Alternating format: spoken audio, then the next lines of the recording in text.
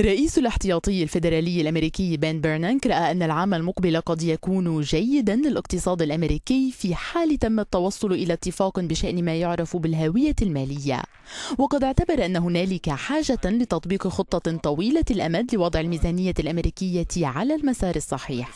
بيرنانك حذر من أن الانتعاش البطيء لقطاع العقارات تراجع القروض المصرفية والأزمة الأوروبية قد تعرقل النمو الإقتصادي.